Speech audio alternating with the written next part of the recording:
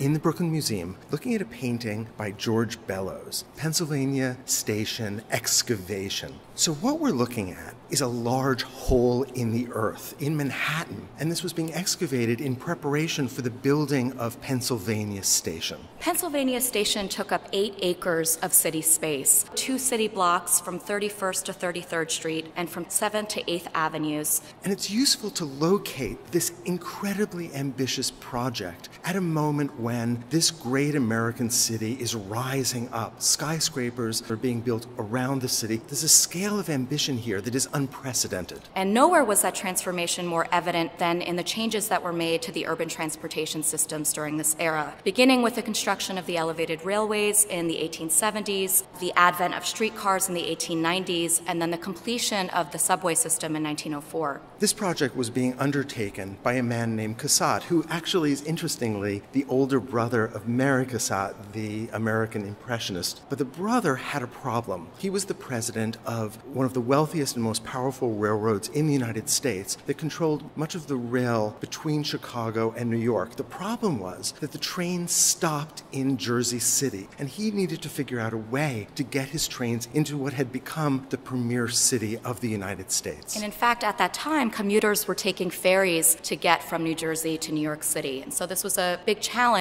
for them to figure out a way to construct underground tunnels under the Hudson River and to construct this new railway station in Midtown Manhattan, which became transformed not only as a center of the city's transportation district, but also its retail and entertainment districts. But this painting is so unexpected because instead of seeing the triumph of the skyscrapers of New York, the triumph of technology, we're looking at this bleak, dirty pit in the earth. Bellows was really interested in conveying the underside of the city's progress during this period. He's using vigorous, raw, slashing brushwork to convey the snow and the details in the scene. It has a very dirty and gritty quality, and that's reflected in the bonfires that we see here in the center of the composition, in this acidic, garishly colored sky that's illuminated by bits of yellow and gold, and most of all by these billowing plumes of steam and smoke that rise out of this gaping pit in the earth. And if I think about historical precedents, I start thinking about the engravings of Piranesi or images that were representing hell coming out of Dante.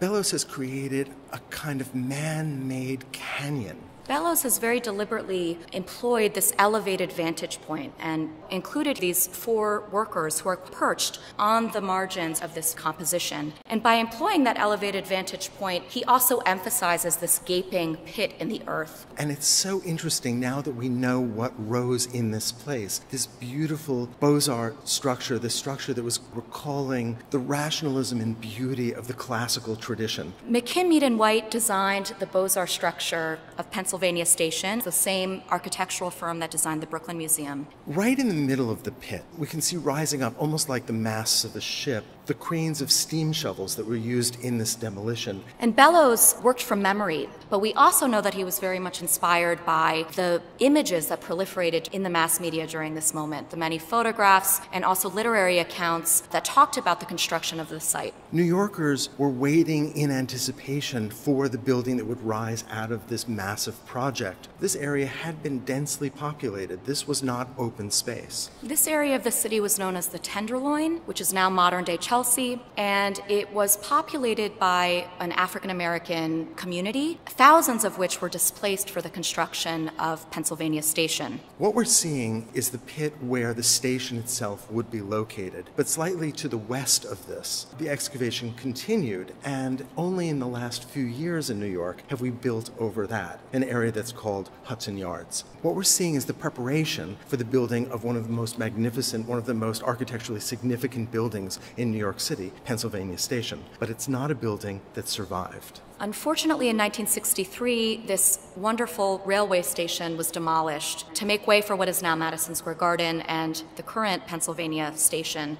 The demolition of Pennsylvania Station helped to rally support for an effort that was already underway to create the Landmarks Preservation Commission, part of New York City government. I find these kinds of paintings to be a commentary on changing New York, on old versus new New York. And in a way, I see how this painting even anticipates Berenice Abbott's Changing New York, her photographic series from 1935. And here, I think that Bellows is offering a commentary on the underside of the city's progress and on the challenges of modernity.